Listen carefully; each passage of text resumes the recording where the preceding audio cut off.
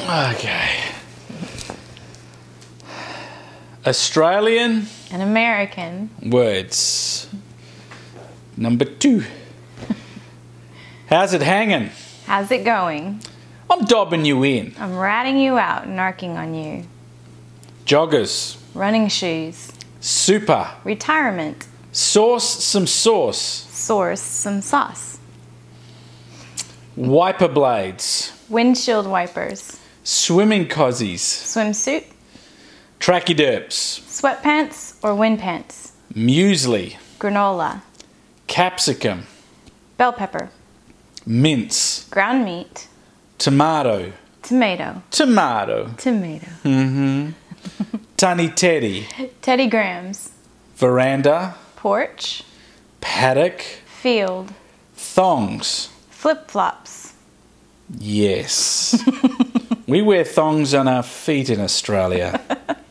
and when I came here and said, Can I wear my thongs to this dinner? hmm. Didn't go down well, did it? Oh. You want to explain what it is? Uh, well, to the Australians watching this video, a thong in America is, honey?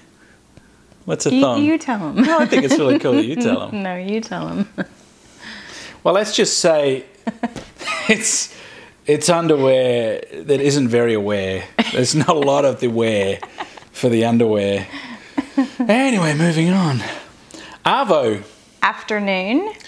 oregano, Oregano. oregano, shop, Store. Ta. Thank you. Ta. I check out that wrong. Let me start again. Ta. Oh, Thank you. oh, thank you. So start again. Ta. thank you. Ta. Give it to me. Ta. The sticky black stuff. Mm hmm. it's a very broadly used term in Australia. He's up my bum. He's tailgating me. Takeaway. To go. Oh, she'll be right. It'll be okay. Idiot box. TV. Struth. Wow. Ah, good on ya. Good job. It's chock a block. Okay. Since I'm from Texas, we say we're fuller than a tick in a blood bank. Oh my gosh. Yeehaw. Okay. Fags. Cigarettes. And don't say fag here. Yeah, I actually have picked that up. To, it's not a it's not a good term. No. And I'll, I'll just leave it there. yeah. But any Australians visiting, uh, any smoking Australians visiting America, do not ask where the fags are kept. anyway, moving on. Posty. Mailman. Nick off. Go away. Get stuffed. Forget you. Aussie, Aussie, Aussie. USA. USA. Spew.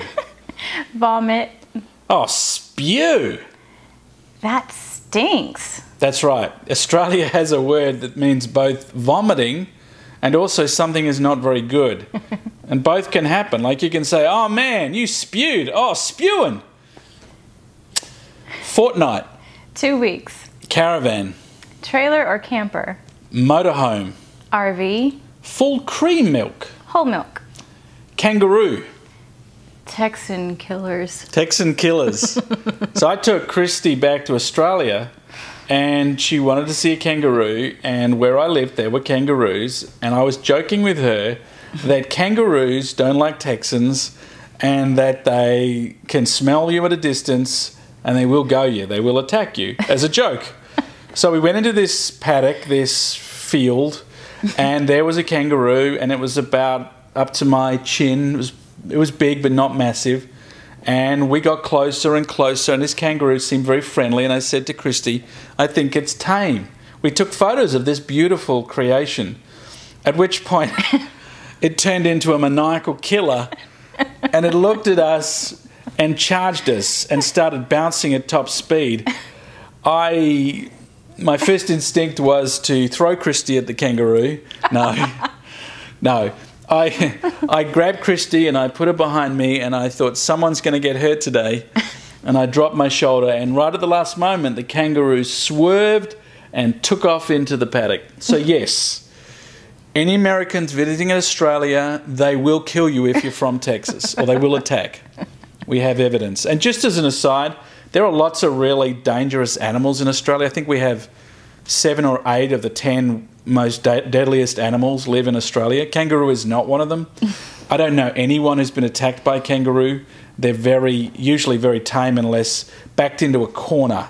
But this was an open field, an open paddock, so it was very strange. Hmm. Anyway, jam, Jelly. jelly, Jello. hello, Hi. indicators, Blinkers. bonza, Awesome. coriander, Cilantro.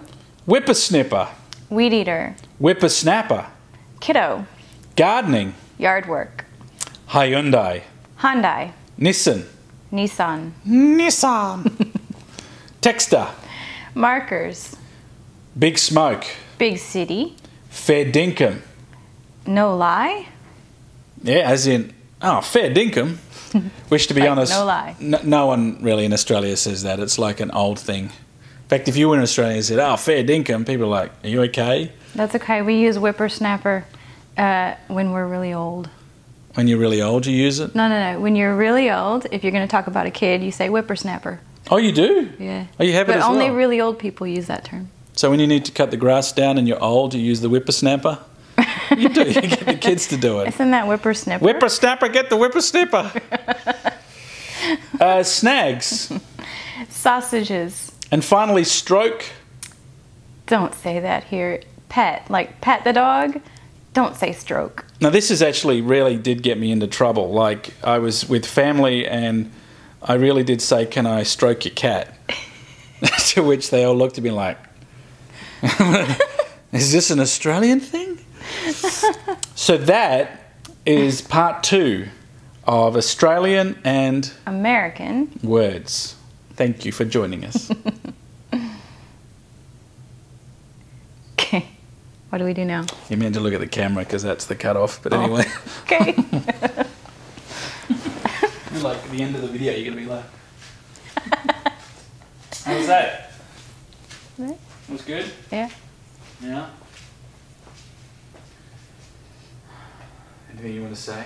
No, can you turn it off, please? Okay. No, can you really turn it off? That's all. No, it's.